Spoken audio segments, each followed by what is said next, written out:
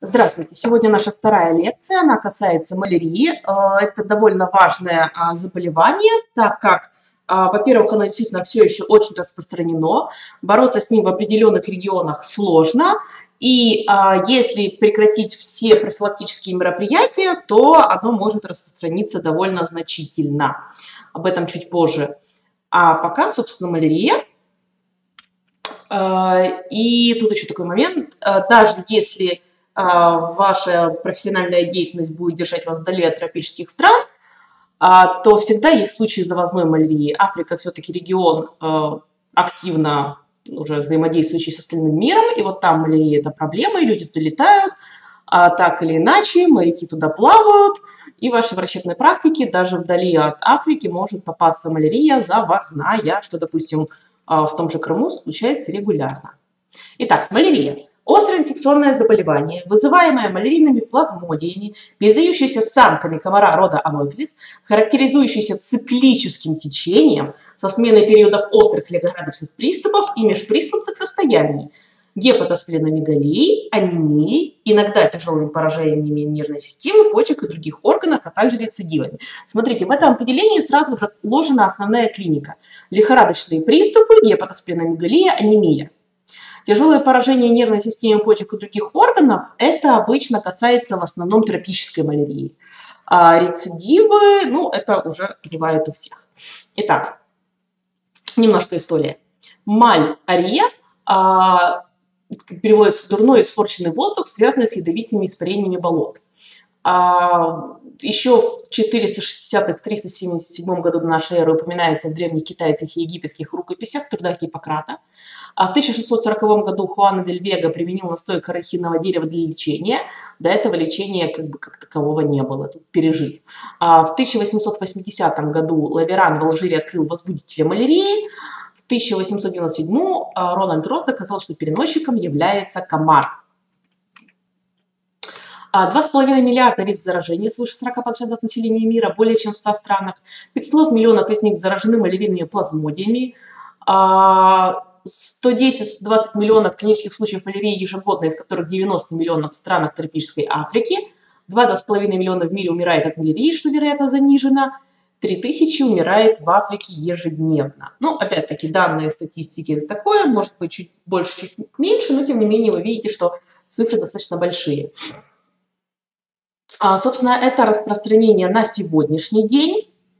А, то есть это в основном тропический пояс, но а, были времена, когда малярия была распространена по всему земному шару.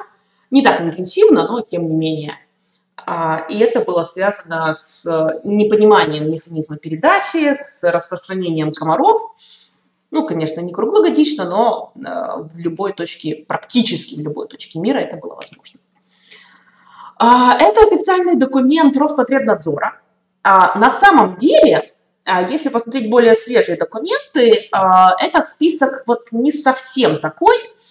То есть, допустим, та же Турция уже, по-моему, считается свободной от малярии, ну или очень близко туда движется. Но есть такой момент. Опять-таки, как бы вы граждане других стран, да, я гражданка России. В общем, в России мы, мы руководствуемся, так сказать, официальными документами Роспотребнадзора. Опять-таки, в вашей стране есть или нет малярии, это надо узнавать у вашего, соответственно, санитарно-эпидемических э, инстанций. А, ну или можно посмотреть сайт ВОЗ, потому что а, такая штука, как малярия, она из какого-то региона может исчезнуть благодаря активным а, действиям профилактическим, или же в связи с какими-то природными катастрофами или социальными катастрофами в какую-то страну она может вернуться. Поэтому это ну, не сто процентов, это не суперустойчивая штука, и поэтому периодически этот список надо проверять, и желательно в каком-то источнике, который обновляется чуть чаще, чем в 20 лет, как это делают документы Роспотребнадзора. Да, соответственно, ваш а, локальный а, санитарно-эпидемиологический а, орган, инстанция, да, или же сайт ВОЗ, ну, опять-таки, что-то в этом роде. Итак, то есть есть как в европейских странах, Азербайджан, Армения, Таджикистан, Туркменистан, Турция, Грузия, Узбекистан, Кыргызстан. Ну, в любом случае, да, это еще документ Роспотребнадзора, возможно, сейчас ситуация немножко поменялась. Средиземноморский, Юго-Восточный, Азия, Океания регионы – Алжир, Афганистан, Бангладеш, Бутан, Ванатау, Вьетнам, Индия, Индонезия, Иран, Ирак, Йемен, Камбоджа, КНР, Лаос, Малайзия, Мьянма, Непал, Оман, Пакистан, Папуа, Новая Гвинея, Саудовская Аравия, Соломоновы острова, Сирия, Таиланд, Филиппины, Шри-Ланка, КНДР, Южная Корея. Естественно, в основном это Африка. Ангола, Бенин, Ботсвана, Буркина Фасо, Бурунди, Габон, Гамбия, Гана, Гвинея, Гвинея, Бисау, Джибути, Заир – Замбия, Зимбабве, Камерун, Кабаверде, Кения, Конго, Кот-д'Ивуар, Коморские острова, Либерия, Маврикий, Мавритания, Мадагаскар, Малави, Мали, Марокко, Мозамбик, Намибия, Нигер, Нигерия, Сан-Томе и Принципе, Свазиленд, Сенегал, Сомали, Судан, Сьерра-Леона, Танзания, Того, Уганда, ЦАР, Чад, Экваториальная Гвинея, Эфиопия, Эритрея, ЮАР. И Центральная и Южная, но здесь, наверное, имелось в виду все-таки а, Америка. Аргентина, Белиз, Боливия, Бразилия, Венесуэла, Гаити, Гаяна, Гватемала, Гвиана Французская, Гондурас, Доминиканская республика, Колумбия, Коста-Рика, Мексика, Никарагуа, Панама, Парагвай, Перу, Сальвадор, Суринам и Эквадор. То есть в первую очередь это, конечно, климат, но здесь еще немножко социально-экономические моменты, ну, по профилактику чуть позже говорим. В 1998 году принят проект ВОЗ обращения с 5 малярии, цель уменьшения за 10 лет двое экономических потерь от малярии. Главные компоненты проекта – создание доступа населения в эндемичных регионах к ранней диагностике и лечению, способность национальных учреждений быстро реагировать на возможность возрождения малярии, вот это очень важно, организация мер среди населения для уменьшения распространения заболевания. А, там у них еще какой-то был план в 2020 все элиминировать, не получилось. И сейчас ближайший план к 2050 году уменьшить распространение малярии до буквально нескольких точек, ну, посмотрим. То есть э, планы они периодически ставят, не всегда они э, исполняются, но, тем не менее, главное, что есть какие-то наметки и какие-то цели. А, и какие-то действия производятся. Сложности на данном этапе. Распространение устойчивости к противомалярийным препаратам, безусловно. Устойчивость переносчикам к инсектицидам, да. Потепление климата, кстати. Рост миграции населения. И, как всегда, не всегда эта миграция контролируема. Сокращение медицинской помощи в условиях экономических реформ и кризиса. Увеличение ирригационных систем. А ирригационные системы – это вода, это место потенциального э, выплода комаров. Для человека патогенны 4 вида возбудителей. Плазмодиум вивакс вызывает трехдневную малярию, плазмодиум малярия вызывает четырехдневную малярию, плазмодиум флаксипарум вызывает тропическую малярию, и плазмодиум вали вызывает овальную малярию типа трехдневной. Редко человек может заражаться малярией обезьян, плазмодиум пнаулезии и плазмодиум а, цинамонги. Там клиника ближе к тропической, довольно тяжело протекает, но об этом мы говорить не будем, потому что опять-таки довольно редко. Тут бы вам основные четыре запомнить. Очень важно, что при малярии вивакс и овалии в организм человека проникают спорозоиды двух видов. Одни способны развиваться сразу же после попадания в печень, так называемые тахиспорозоиды. Другие начинают свое развитие спускать несколько месяцев и даже полтора-два года. Гипнозоиды, брадиспорозоиды или дремлющие спорозоиды – это все синонимы, одно и то же. Они являются причиной поздних рецидивов. Опять-таки, запомним, малярия вивакс и малярия овали. Именно эти два и только эти два вида малярии обладают э, этими дремлющими спорозоидами, соответственно, возможны поздние рецидивы. А в четырехдневной тропических малярии такого не бывает, там только ранние. Пути передачи малярии. При укусе самки комара анофилис в определенных климатических условиях, что важно, то есть, если самка комара анофилис укусит э, в холодной температуре, этого будет недостаточно, чтобы... Э, в общем, для плазмодия нужна определенная температура, чтобы созреть и размножаться в теле комара. То есть, если будет низкая температура, то это будет, скорее всего, безопасно. От матери плоду вертикальный, плод, э, вертикальный путь часто при повреждении плаценты. Парентеральный путь часто плазмодиум малярия ввиду длительного персистирования паразитов в крови 15 и более лет. То есть за это время обычно у организма вырабатывается некий иммунитет, и клинические проявления минимальны. И вот тогда здесь может быть э, человек может об этом не знать, не помнить, забыть и так далее, но его кровь может как-то использоваться или... Э, но такое возможно. В, общем. в донорской крови плазмодий выживает в течение двух недель. А, так что, в общем-то, сплошная обычная карантинизация, как она делается, этого вполне хватает. Но не забываем, что иногда есть экстренные ситуации, когда кровь берут вот прямо сейчас. Опять-таки, это крайне редко, но теоретически возможно. А также описана аэропортная малярия, так называемая, при завозе зараженных комаров из тропиков. Ну, то есть сел комарик, только не на воздушный шарик, а на куда-нибудь там какие-то вещи или что-то в э, самолете, и таким образом может попасть в страну, где, собственно, его никто не ждет, и, собственно, там же кого-то укусить. Соответственно, человек не вылетал, не выезжал, но малярия бывает. Такие случаи описаны, действительно, это бывает редко, но, опять-таки, о таких штуках надо помнить, когда уже непонятно откуда. Итак, жизненный цикл. Половой. Спорогония в организме окончательного хозяина самки комара анофилис. Бесполый шизогония в организме промежуточного хозяина человека. Спорогония при, кровососании больного или носителя малярии самка комара получает половые формы плазмодиев. Микрогаметоциты мужские и макрогаметоциты женские. В желудке комара мужской э, гамонт выбрасывает 4-8 жгутиков. После созревания гамонтов происходит оплодотворение, образуется зигота, затем акинета, которая проникает в слизистый слой, превращается в ацисту, в которой в результате многократного деления образуется 10 тысяч спорозоидов. А циста лопается, спорозоиды разносятся гемолимфой в различные органы комара, скапливаясь в наибольшем количестве в слюнных железах. С этого момента комар заразен для человека. Вот, момент, что я упоминала. Спорогония зависит от температуры воздуха. Минимальная температура, при которой проходит спорогония, спорогония 16. Это должна быть среднесуточная температура, да, 16.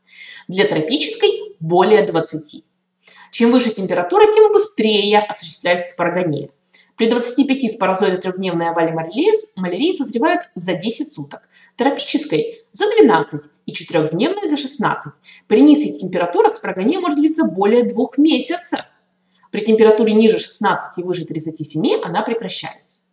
Каждый вид малярийных плазмодиев может проходить спорогонию в определенном виде комаров анофилис, что определяет возможности возникновения малярии в данной местности. А, итак, это опять-таки цикл, а, ну, то есть то, что кратенько. А, описано только теперь в картинках. Да, макрогамета, микрогамета, зигота, акинета, ациста, выход с паразоидов, и комар снова кусает. В человеке же идет в клетке печени, опять-таки, там еще немножко зависит от того, какой вид, то есть если это трехдневная или овали, там могут часть оставаться в виде гипнозоидов, а, дальше идет а, инфицированная клетка печени, тканевой шизонд, экзоэритроцитарная шизофрения, вырос, а, выход мирозоидов, там еще подробнее будет на слайде, незрелый трофозоид, зрелый трофозоид, выход мирозоидов, и опять-таки в конечном итоге созревают гаметоциты, да, вот самые, которые микро- и макрогаметы, которые в итоге э, поглощает самка комара. Ох. Так, надеюсь, дальше есть? Да. да. Ну ладно, давайте здесь еще раз. Ну, здесь, в принципе, то же самое, только шуть-шуть красивее, да? А, макрогаметы, микрогаметы, зигота, ациста, спорозоид, следующий человек. А также а, клетки печени, развитие шизонта в клетках печени, выход микрогаметоцитов из печеночной клетки, это все идет в печени. Дальше эритроцитарный цикл развития. А теперь красиво и словами. При трехдневной овале малярии в организм человека проникают спорозоиды двух видов. Одни способны развиваться сразу после попадания в печень. Тахиспорозоиды. Другие начинают развиваться спустя несколько месяцев и даже полтора-два года эпигнозоиды. Брадиспорозоиды или дремлющие спорозоиды. Они являются причиной поздних или так называемых тканевых рецидивов и обеспечивают развитие болезни после продолжительной инкубации. Этот процесс детерминирован генетически и контролируется соответствующими локусами. После разрушения гепатоцита тканевые мирозоиды попадают в кровь, частично погибают под действием иммунитета, остальные проникают в эритроциты, давая начало эритроцитарной шизогонии – в ходе которой происходит следующая стадия развития. Трофозоиды, это растущий паразитный дром, подразделяются на кольца, юные, полувзрослые, взрослые, а также трофозоиды, готовящиеся к делению. Ой, бог ты мой, опять пауза. Ладно, вернемся сюда. А, при кровососании на больном человеке в желудок с кровью попадают микрогаметоциты и макрогаметоциты. Опять то же самое. В общем, это в целом на самом деле э, несколько раз одно и то же, что вам это лучше запомнить, потому что, как показывает практика, при однократном повторении обычно это все из головы улетучивается. Поэтому несколько раз. Потом еще на занятии повторите, и потом еще обговорите, и потом еще на контрольной точке. А, так, а циста в ней происходит многократное деление, спорозоиды в гемолимфу, дальше слюны железы комара, и с тех, с этих пор комар приобретает инфекциозность. Однако, вспоминаем, да, то есть это может от 10 дней этот цикл занимать в зависимости от температуры до нескольких месяцев в комаре, в зависимости от температуры окружающей среды и, собственно, самого подвида. А, так, при укусе инфицированного комара в кровяное русло попадают спорозоиды, Дальше, в тканевой шизогонии, тканевая – это в клетках печени, внедряется в гепатоциты, проходит тканевой шизон, тканевые мирозоиды, разрушение гепатоцитов и выход тканевых мирозоидов в кровь. А, внедрение дальше в крови внедряются в эритроциты, это уже эритроцитарная шизогония, кальцивидный трофозоид, юный трофозоид, зрелый трофозоид, незрелый шизон, делящий шизон горла, и эритроцит разрушается. А это обуславливает а, начало клинических проявлений. Выходят многочисленные ретросарные мирозоиды, погибают желудки комара, если попадают в него с кровью при кровососании. А микро- и макрогаметоциты, попав в кровь, дают начало спорогонии в кровь комара. А степень пораженности малярии в очагах характеризуется двумя индексами. Селезеночный Процент обследованных детей от 2 до 9, до 9 лет с, увеличи, с увеличенной парази, э, селезенкой и паразитарный процент детей до года с паразитами в крови. А, степень эндемии по ВОЗ. Гипоэндемия, селезеночный индекс до 10, мезоэндемия, селезеночный индекс 10-50%, гиперэндемия, селезеночный индекс более 50% и голоэндемия, паразитарный индекс более 70%. Селезеночный индекс у взрослых низкий или высокий новогвинейский тип. Риск в голоэндемичных очагах колоссальный. В очагах гипо- и мезоэндемичной малярии низкий. Опять-таки, почему а, дети? Потому что дети чаще всего болеют. Ну и потом они или умирают, собственно, основная смертность от малярии это в основном дети. Да, или вырастают. Малярия – циклический процесс, склонный к рецидивированию. При заражении человека с паразоидами при всех формах малярии происходит развитие паразитов в клетках печени без клинических проявлений, инкубационный период. После выхода мирозоидов в кровь и проникновения эритроцит, в эритроцит начинается эритроцитарная шизогония, с которой связаны все клинические симптомы. Они возникают только тогда, когда число бесполых паразитов в крови превышает определенный уровень, пирогенный порог. Он обычно достигается после одного или нескольких циклов эритроцитарной шизогонии, поэтому инкубационный период всегда несколько больше, чем длительность экзоэритроцитарной шизогонии. Чем выше иммунитет, тем выше пирогенный порог. Или иммунный он может составлять всего нескольких паразитов в одни микролитры крови. А теперь, как, собственно, развиваются симптомы. Опять-таки, а, помним, что для большинства видов малярии характерны только озноб, жар, пот, увеличение печени и селезенки и анемия. А такие а, Симптомы, как желтуха, рвота, диарея, кашель, влажные клипы, аллегория и кома, это в основном касается тропической малярии. Итак, озноб жар. Сначала сужение, затем резкая дилатация периферических сосудов. Лихорадка. Действие различных пирогенов, выделяющихся при распаде инвазированных эритроцитов, в том числе фактор некроза опухоли. Увеличение печени. Отек сосудистой стазы, гиперплазия, ретикула, эндотелия. Желтуха. Главным образом гемолитическая. При тяжелом течении и значительном повреждении гепатоцитов может уверенно повышаться и прямой билирубин. Но опять-таки желтуха это будет в за счет не связанного билирубина, да, не прямого. Увеличение селезенки. Повышенное кровонаполнение, депонирование и последующее разрушение инвазированных эритроцитов. Анемия. В начальный период главным образом за счет распада инвазированных эритроцитов. В дальнейшем гемолиз может усугубиться за счет аутоиммунного компонента. У нелеченных может поддерживаться за счет развития гиперсплинизма, возможно угнетение кроветворения. Тахикардия – компенсаторная реакция, призывающаяся анемией и гиповолемией. Систолический шум может быть за счет анемии и гиповолемии, снижение давления, коллапсы. Это тотальная вазодилатация, гиповолемия, при поражении надпочечников, возможно речное снижение АД до критических цифр. Но это уже что-то на, на вот, э, что-то вроде вот, э, малярийного алгида, то есть это не то, чтобы часто. Рвота центрального генеза, особенно при тропической малярии. Отек слизистой оболочки желудка, нарушение всасывания. Диарея.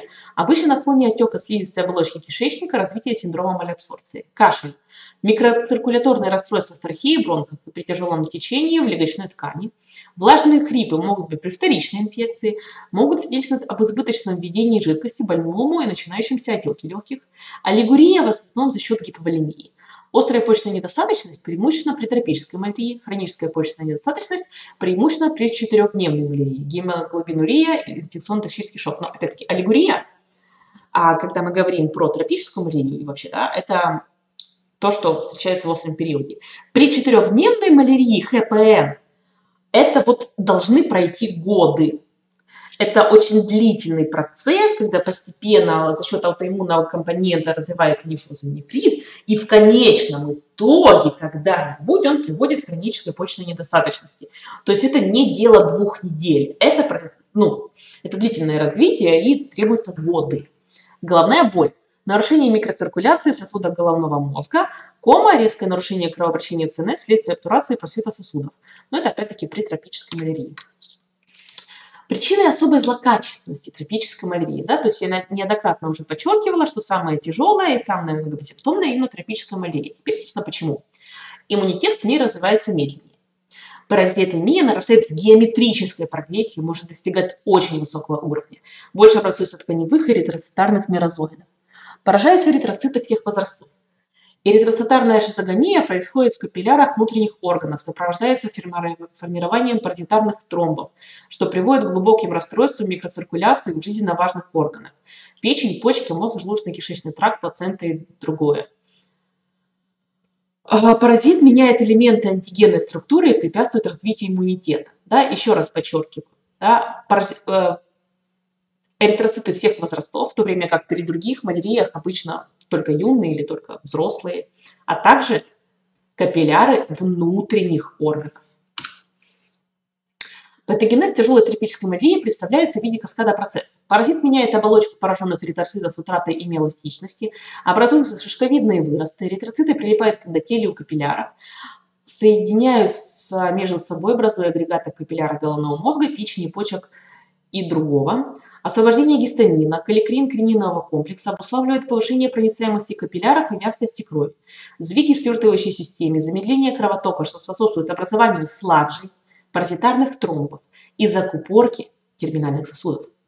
Нарушение органной микроциркуляции приводит к аноксии, гипотензии, отеку мозга, тяжелым дистрофическим и некробиотическим изменениям, что проявляется малярийной комой, острой почечной, печеночно-почечной и сердечно-легочной недостаточностью шока. Возможно развитие ДВС-синдрома. Большую роль в генезе церебральных нарушений играет гипогликемия. Цитоксический фактор способен ингибировать в митохондриях анаэробный гликолиз и фосфорилирование. Причина гемолиза при малярии. Разрушение эритроцит, эритроцитов парацитами, повышенная кроворазрушительная функция РЭС, особенно гиперплазированные селезенки, где разрушаются как инфицированные, так и неинфицированные эритроциты. Аутоиммунные механизмы, гемолиз неинфицированных эритроцитов под действием комплекса антиген-антитела. У больных с дефицином э, Г6-ФТГ при, при назначении хинина и других препаратов нередко развивается массивный внутрисосудистый гемолиз, приводящий к гемоглобинурии и острой почечной недостаточности. Но опять-таки, да, это у изначально людей с такой патологией. По мере развития иммунитета возможно развитие рецидивов. По выраженности рецидивы могут быть клинические с симптомами и паразитарные, без клиники. То есть, когда паразиты определяются в крови, но яркой клиники нет.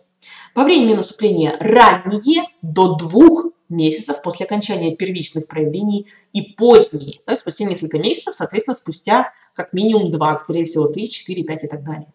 По происхождению рецидивы эритроцитарные, в результате оживления подавленной иммунитетом эритроцитарной шизогонии, они же ранние, возникают при всех видах малярии, это возможно. Опять-таки при нелеченной или недолеченной. И экзоэритроцитарные или тканевые, связанные с активизацией гипнозоидов, они же поздние, бывают только при овальной малярии.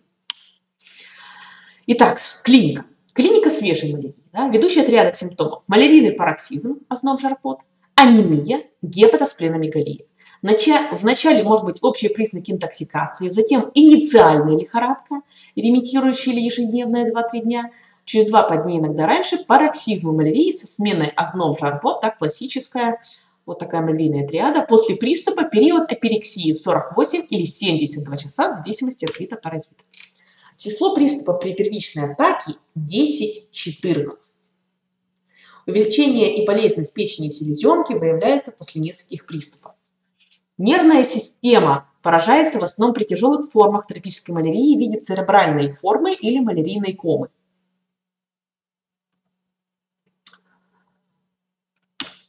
Трехдневная малярия. Инкубационный период 10-21 день. Первичные проявления через длительный срок, возможно, у получавших химиопрофилактику. Характерна продрома. Лихорадка вначале инициальная, неправильная, к концу первой недели правильное чередование приступов через день, обычно в полдень. Все фазы приступа до 12 часов. Пароксизм продолжаются 3-6 недель. Гепатоспленомегалия к концу первой недели болезни. Анемия появляется лишь на второй-третьей неделе болезни.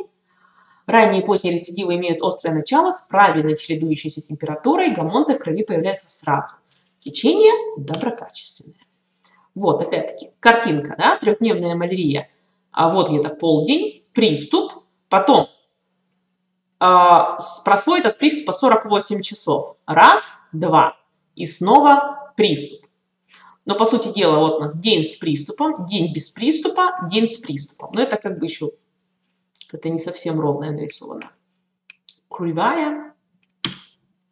Вот. А, опять-таки, да, инициальная лихорадка, потом приступ, день без приступа, день с приступом, день без приступа, день с приступом, да, каждый э, через день, да, и мы видим, что от начала одного приступа до начала другого проходит 48 часов, да, вот, 24, 48, 24, 48, это трехдневная.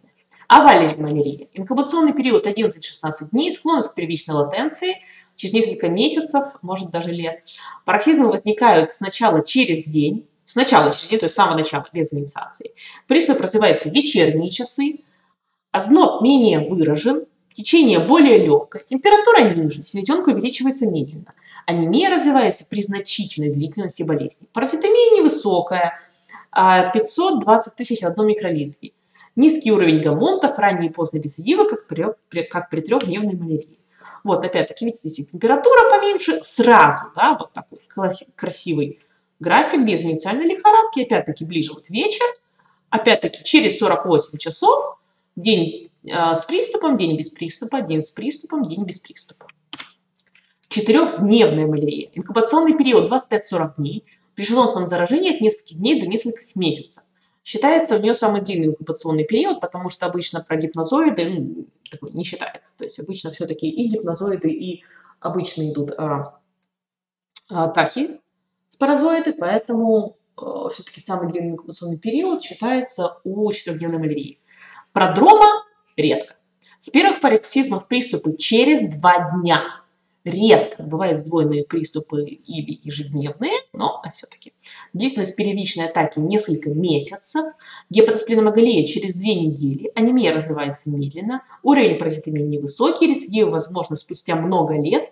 Прогноз благоприятный. Тяжелое течение при развитии нефротического синдрома. Вот, четырехдневная малярия видим. А, приступ. Раз, два дня без приступа, снова приступ. Да? Это 72 часа. То есть вот раз. 24, 48, 72. Опять-таки, немножечко начало, опять-таки, да, приступ. Два дня без приступа, приступ. Два дня без приступа, приступ, да, через каждые два дня. Тропическая малярия, инкубационный период 8-16 дней, то есть самый короткий из всех. Продрома. Лихорадка неправильная, непостоянная пароксизмы длительные, может быть по, 46, по 24 36 часов. Приступы в любое время суток, чаще утром, но в любое. Озноб и пот мало выражены или отсутствуют. Период жара состояние очень тяжелое. Снижение температуры сохраняет явление токсикоза. Селезенка увеличивается к десятому дну болезни. Функции печени может быть значительно нарушены. Уровень паразитомии прогрессивно нарастает. На второй неделе анемия. Продолжительность острого периода 2 недели. Рецидивы только ранние, протекают легче. Возможно злокачественное течение у неиммунных. Вот, график э, температуры при тропических малии абсолютно как попало, да? А, потому что не синхронизированы эритроцитарные циклы и разные генерации дают приступы в разное время. Поэтому абсолютно нет какой-либо выраженной э, структуры. Малярийная кома или же церебральная малярия. Тяжелое осложнение только тропической малярии. В эндемичных очагах развивается у впервые заболевших нелеченных приезжих, не имеющих иммунитета к плазмодиум флеципару. В неэндемичных зонах вскоре после приезда у возвратившихся из эндемичных районов и не получавших качественную химиопрофилактику. Обычно кома развивается через 3-5 дней от начала заболевания, иногда через 2-3 часа после госпитализации на фоне начатой терапии. Очень редко кома возникает после четвертого дня болезни или даже спустя полтора месяца. Предрасполагающие факторы. Конституциональная неполноценность, статус тимика лимфатикус, истощение, переутомление, недоедание, беременность, алкоголизм, наркомания, высокая температура внешней среды, реакклиматизация у возвратившихся из тропиков, аллергическая настроенность. Диагностика. Клиника и эпидемиологические данные – результаты лабораторных исследований. Ошибочная и поздняя диагностика при отсутствии пит-насторожности у врачей, недостаточным обследованием больного, атипичным течением болезни – основным методом диагностики малярии является исследование серии мазков и толстых капель крови. Низкая паразитомия может привести к гиподиагностике малярии. Вот, собственно, методы диагностики, которые сейчас используются. А, то есть это прежде всего а, ну, в первую очередь, хотя это считается сила доказательности С, но это самый распространенный. Микроскопические препараты крови, приготовленные методом тонкого мазка и толстой капли, окрашенные по романовскому гинзе, пациенты с клиническими симптомами малярии для подтверждения нозологии вида возбудителя, определения степени тяжести инфекционного процесса или исключения малярии.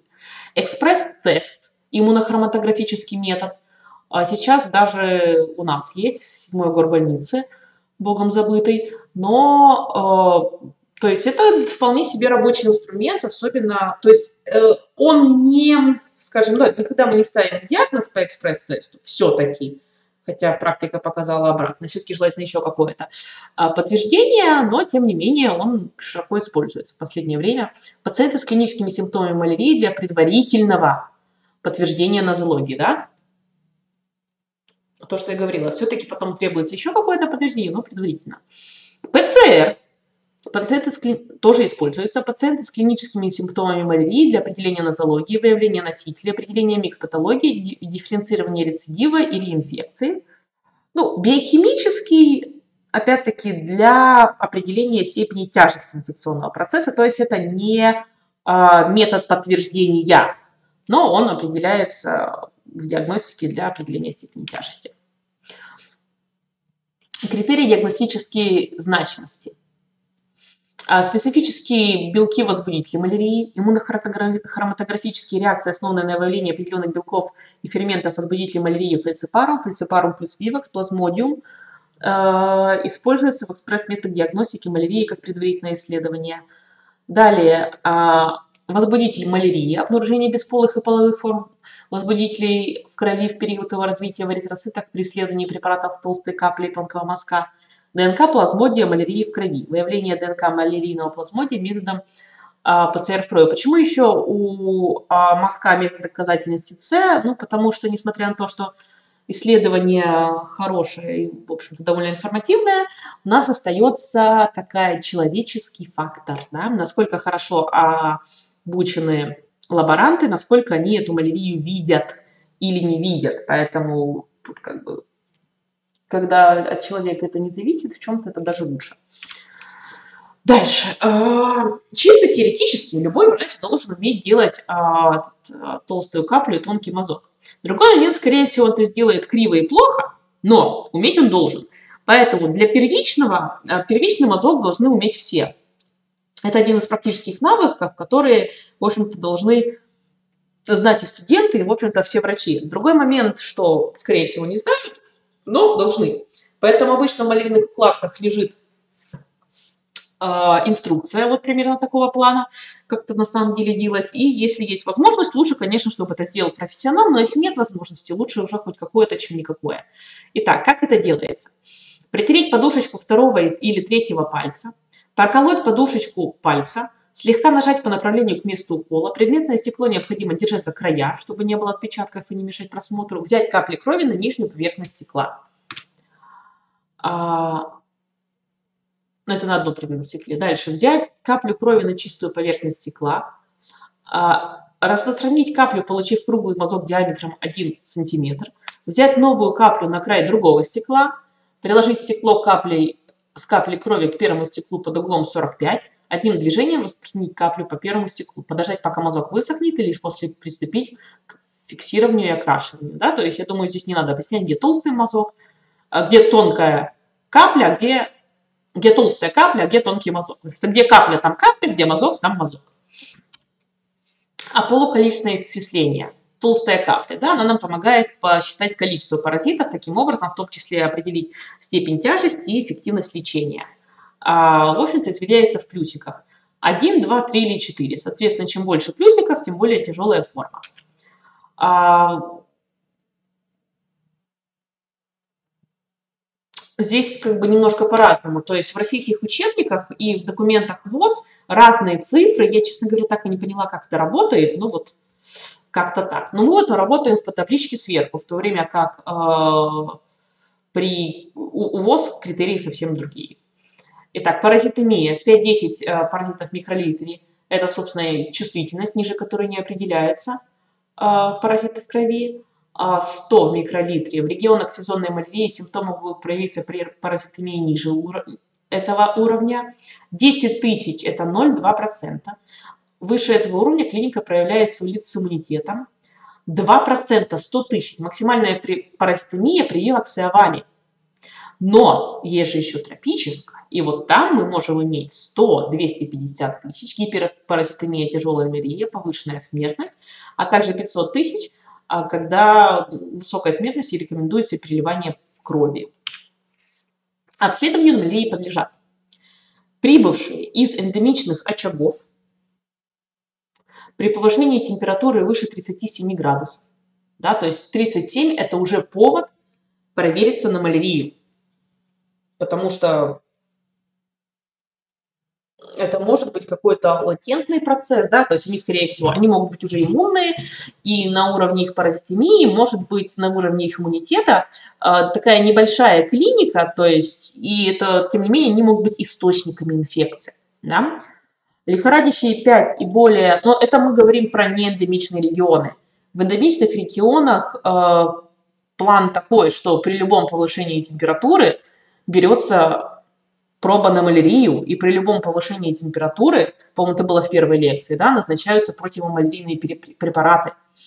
Но если мы говорим про неэндемичные, то есть, допустим, та же Турция, а, да, или я просто не знаю, какая сейчас ситуация в Армении, Таджикистане и так далее. Надо вот смотреть документы, потому что даже за 5-10 лет может сильно ситуация поменяться. И если там малярия не как здрасте на каждом шагу, то уже тоже может быть э, такие моменты. Все-таки гиперэндемичные области – это, опять-таки, некоторые области Африки, даже не все. А, допустим, опять-таки, в той же Турции э, она уже, по мнению ВОЗ, Возможно, потому что я, когда последний раз проверяла это, несколько было года 4 назад, и она уже тогда была вот почти исключена, возможно, сейчас окончательно исключена из эндемичных зон Памальдии, да, и, соответственно, надо смотреть ситуацию на местах. Так вот, при, вне эндемичных, это прибывшие из эндемичных очагов, да, вот с такой клиникой, лихорадящие 5 и более дней без диагноза, реципиенты крови при повышении температуры в течение трех месяцев после переливания, прибывшие из тропиков в течение последних трех лет при любом повышении температуры, больные с гепатоспленомегалией, жестухой анемией, неясной этиологии. Кстати, да, в эндемичных зонах э, все еще быстрее, просто вообще сразу, любое повышение температуры проверяем на малярии. Критерии тяжести тропических, э, тропической малярии по ВОЗ. Глубокая кома, если нет других причин, тяжелая нормоцитарная анемия, а гемоглобин 50 грамм на литр при паразитемии 100 тысяч в одном микролитре, почечная недостаточность, диурез 400 мл за 24 часа, мочевина больше 60, это прям ну, серьезно, отек легких, гипогликемия, сахар ниже 2,2 ммоль на литр, сосудистый коллапс или шок, давление ниже 70 мм ртутного столба, холодная влажная кожа, спонтанные кровотечения из десен, носа, ЖКТ или ДВС синдром, ну, собственно, оно и есть, желтуха, билирубин больше 50 микромолей, гиперпирексия, генерализованные судороги, ацидемия, pH артериальной крови 7,2 или ацидоз, бикарбонат плазмы 15 ммоль на литр, макроскопический гемоглобинурия, если нет дефицита а, ГЛ6 ФТГ, шизонтемия в периферической крови. А вот здесь такой момент, поясню. А, опять-таки лекция, здесь основное, да, если к занятию, подготовке у нас есть кафедральная методичка по малии, очень хорошая. Она есть на сайте, скорее всего, уже скоро Moodle загрузят, но она точно есть на сайте, где, уже не на сайте, ну да, на сайте Медакадемии в разделе кафедры, где лежат все э, вам методички и прочие материалы, которые туда были загружены для дистанционного обучения, или попросите своего преподавателя, я думаю, никто вам не откажет, конечно же, вам скинуть эту методичку.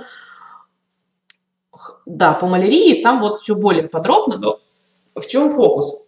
А, я здесь просто это не включаю в лекцию, потому что я не считаю это супер важным, но в любом случае в методичке или учебниках это написано. Да? Помним, что при обычных маляриях, ну, при трехдневной и четырехдневной малярии, а, шизонты, они плавают везде в крови, в крови, их можно взять и увидеть при исследовании. При тропической малярии, помним, да, а, размножение в эритроцитах происходит в сосудах внутренних органов. Таким образом, в периферической крови или только юные формы трофозоиды, или половые формы. Да, а микро- и макрогамetoциты, но, собственно, потому что так оно работает. И вот если в периферической крови появляются не только ранние и зрелые формы, но и промежуточные, шизонные, это значит, что настолько много паразитов, что они уже, можно сказать, ну, грубо говоря, да, а, не, в, не вмещаются в периферической крови, в смысле, в, в сосудах внутренних органов, пойдут в периферию. То есть это маркер а, очень высокой паразитомии. То есть если мы видим только а, юные и зрелые формы, то это в целом еще средняя степень тяжести. Но если мы видим шизонты а, в периферической крови при тропических малярии, это уже а тяжелое течение. Лейкоцитоз больше 12 тысяч, гематокрит меньше 20%, ну и посмертно паразиты в сосудах серого вещества головного мозга. Скорее всего, это было малярийная кома. Что такое радикальное лечение? Радикальное лечение э, это применяется именно при трехдневной и овали малярии. Оно сочетается, то есть это купирование приступа и предупреждение ранних рецидивов, хлорохин 3-5 дней, а также предупреждение поздних рецидивов, примахин 14 дней. Собственно, если э, в тропических странах малярию часто лечат наугад. Ну вот из серии мы видим малярию, мы даем противомалярийные препараты. И если не к, к лечению э, гематошизотропному, так называемому, вообще лечения здесь это нет. Да, лечение разделяется на гематошизотропное, гистошизотропное и гаметотропное. В целом это очень условное разделение, ничего этом важного нету, ну, чтобы понимать, да, гематошизотропное – это для э, купирования приступа, да, убиваем э, паразитов в крови. Гистошизотропное – это для профилактики э, поздних рецидивов, убиваем паразитов в печени, да, и э, гаметотропная имеет смысл при э, завозной малярии для профилактики передачи. То есть, если это какая-то так гиперэндемичная область, я не думаю, что в этом есть какой-то смысл, да. Но, тем не менее, если э, в регионе малярия не то чтобы супер распространена, имеет смысл э, назначить гаметотропные препараты, чтобы убить половые формы. Это я чуть позже скажу, вот при тропической. Итак, радикальное лечение трехдневной и овальной малярии сочетает гемато- и гистошизотропные препараты. Это хлорохин, а также примахин 14 дней. Вот если примахин 14 дней не давать, а, то у человека пройдет клиника, но через полгода, там, 5-7 месяцев может возникнуть опять поздний рецидив, потому что э, не убиты э,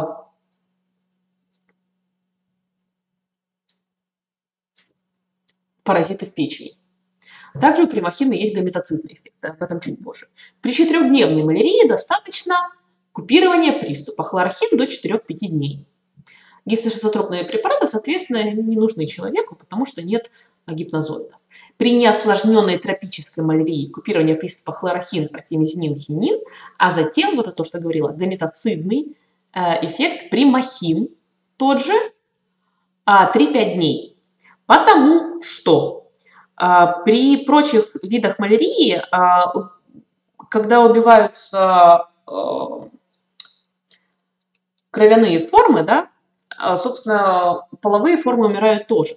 Но при тропической особенности цикла таковы, что даже если вы убили все, а, всех паразитов в эритроцитах, а, гаметоциты, вот, микро- и макрогаметоциты, половые клетки могут циркулировать в крови уже человека без клиники, вылеченного еще дополнительную неделю. Соответственно, вы человека выпишете, он пойдет радостно домой может стать источником инфекции, для кого-нибудь еще. Соответственно, перед выпиской таких пациентов также еще лечат 3-5 дней.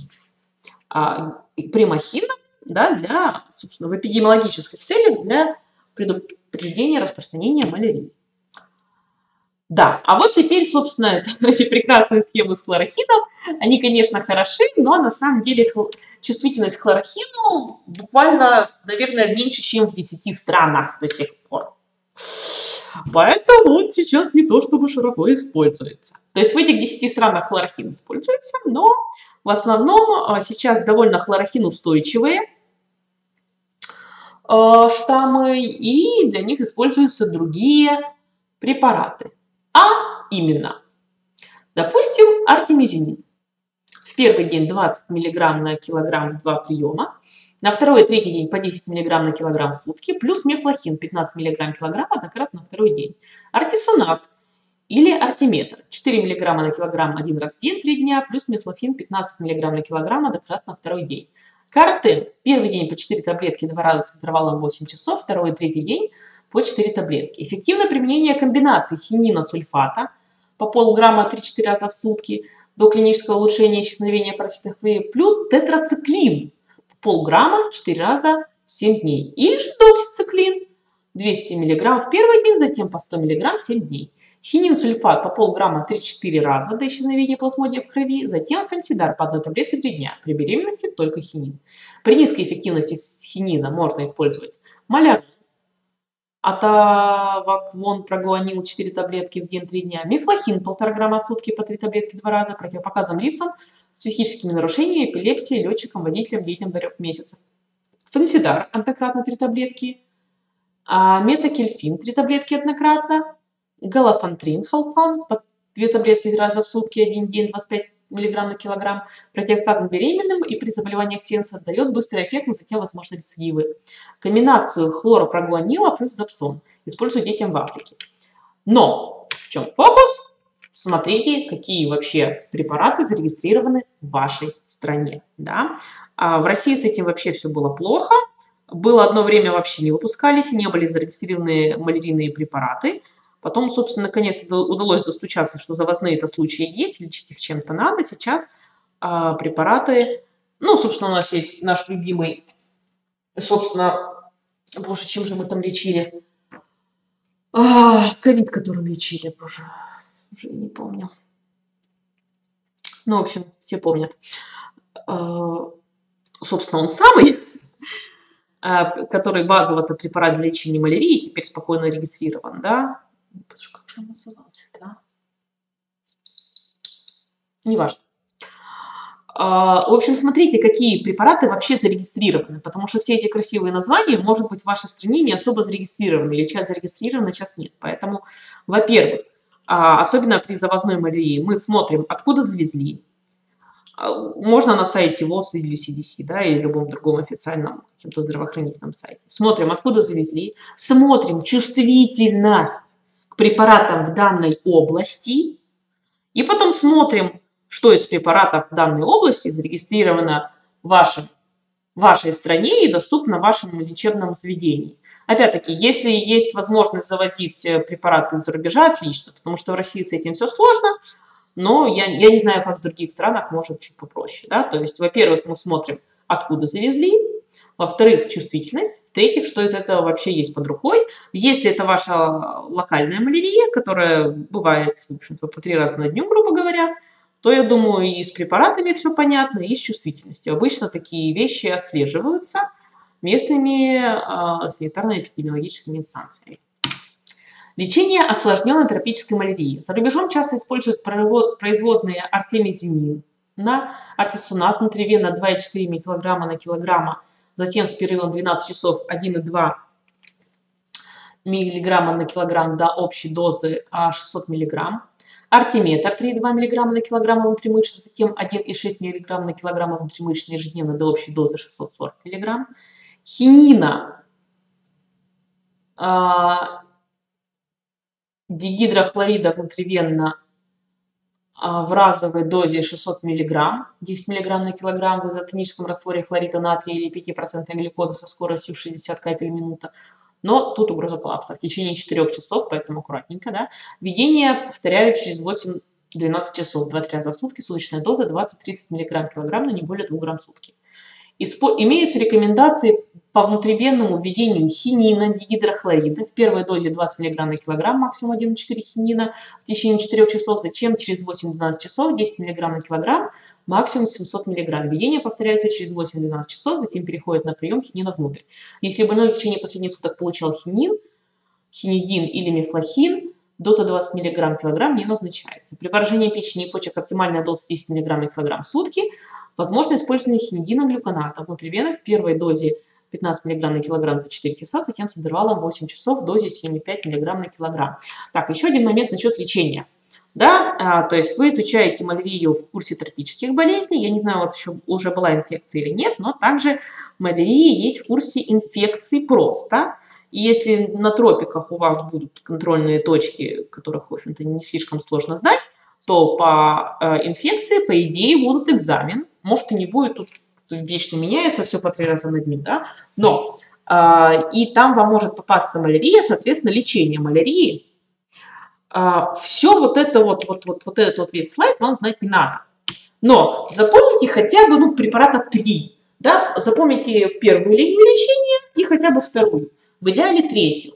Если три, вы три препарата скажете, ну, то есть три варианта лечения э, преподавателя, он будет счастлив. Да?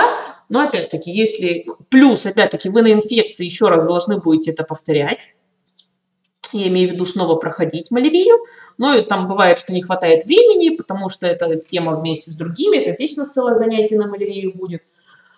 Поэтому э, лечение хотя бы несколько вариантов. Вот прям всю страницу не надо, но вот несколько желательно.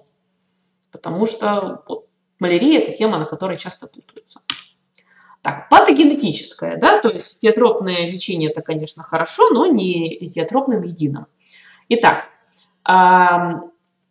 при гиповолемии ацисоль, трисоль, квартосоль, лактосоль, внутривенно струйно, затем капельно, метод введения, объем зависит от степени обезвоживания. Гипогликемия 5% раствор глютозы или 20% процентный раствор глюкозы, внутривенно концентрация и количество зависит от уровня глюкозы в крови. Гипотензия, адреналин или допамин, ну, все в стандартных дозировках, внутривенно медленно 10-15 капель в минуту. Стероидные гормоны не показаны. Энцефалопатия, сидексен, реланиум, оксибутират натрия, дроперидол. А, подкожно или внутривенно, внутримышечно или внутривенно, внутривенно. Ну, опять-таки, здесь все расписано. Это просто, чтобы понимать, что если у вас у человека там предсудороги, все очень плохо, глюкоза 2,2 и гиповолемия, это не значит, что ему дали мифлохин и типа все, молодец, хватит с тебя. Да? Не забываем, что этиотропное лечение это только часть. Есть еще патогенетическое, есть еще симптоматическое. Да? Соответственно, все лечится как обычно. Гиповолемия. Солевые растворы, гипогликемия, собственно, растворы глюкозы, гипотензия, адреналин, допамин, энцефалопатия, а, противосудорожные и успокоительные. Также анемия, препараты железа, фолиевой кислоты, эритроцитарная масса в зависимости от степени а, от степени э, выраженности анемии. Это все можно, внутривенно. Если гематокрит до 20%, проводится обменная гемотрансфузия. Гиперперексия, анальгин 1-2 мл и другие жиропонижающие внутримышечно, это классика. Обтирание прохладной водой, холодно-магистральные сосуды шеи и другое. Могут быть физиологические методы. Острая почечная недостаточность. Э, медикаментозное лечение проводится по общепринятой методике. А также если идет, а, если идет а, острая почечная недостаточность на фоне гемолиза вследствие применения противомалярийных препаратов, не забываем, что первое, что мы делаем, первое, это отмена тех противопаразитарных препаратов, которые вызвали этот гемолиз. А потом уже лечение по общепринятой методике. Если вы этот пункт пропустите, ну, как бы на экзамене, ну, или даже будете там в задаче писать, то есть сразу, ну, может, не 2, а 3, но как бы шансы на двоечку, да, потому что если вы не напишете в своем листе назначения «отменить», да, не подумаете об этом, медсестра может так и дальше давать этот препарат и вы будете продолжать усугублять этот гемолиз. Поэтому не забываем, отмена – это надо проговорить преподавателю, и это еще полбеды. Главное – проговорить это своему медперсоналу, своим медсестрам, отметить в листе назначения, отмена, а потом все остальное. Далее. Внутрисосудистый гемолиз эритроцитов может быть медикаментозный и паразитарный. А, соответственно, глюкоза на инсулине, эофилин, ацетолия, полиглюкин, латекс, преднизолон или гидрокортизон, переливание крови, ИВЛ. Если э, он паразитарный, то продолжается прием аллергенных препаратов. Опять-таки, если не рекомендованный, то отмена тех препаратов, которые вызвали. Все это внутривенно капельно, переливание крови при снижении гемоглобина менее 50 грамм на литр. Геморрагический синдром. А, Викосоло-ретроцитарная масса переливания крови. Итак, и последний пункт плана – это химиопрофилактика. Да, то есть э, лечение это, конечно, хорошо, но есть еще, собственно, недопущение. Так, тут дальше еще есть. Нет, значит, э, базовая профилактика, вообще, если не химиопрофилактика, конечно, защищаться от укусов комаров. В принципе, есть вакцинация, но она довольно низкоэффективна поэтому ее даже особо не упоминается. Но основное – это химиопрофилактика. Лицам, выезжающим в эндемичные районы, назначается химиопрофилактика, которая начинает за неделю до выезда, продолжает в течение всего периода пребывания в регионе и еще в течение четырех, иногда шести недель после возвращения. Неделя до выезда, весь период, плюс 4 недели после возвращения. В очагах клохин чувствительной тропической малярии, виваксиовали малярии, хлорохин еженедельно 2 таблетки 300 мг на не более 5 лет может вызвать ретинопатию, предотвращает только первичное проявление болезни, но поздние рецидивы все еще могут возникнуть через несколько месяцев. Помните, да, хлорохин не действует на тканевые формы. Там примахин. В регионах лекарственно-резистентной тропической малярии тропическая Африка еженедельно применяет один из следующих препаратов. Мефлохин, мелаприм, метакельфин, малорон, фантидар, дарахлор, камаприм, ЦП, 0,3 хлорохина основания а, плюс 0,75 примахина основания. Нарушение схемы ранее отмены препарата могут привести к заражению малярией, но при этом возможно либо более легкое течение заболевания, либо удлинение инкубационного периода, либо изменение классической картины болезни. Так, собственно, на этом наша лекция заканчивается. Благодарю вас за внимание. Не забывайте про методички, читайте книжечки и будьте здоровы.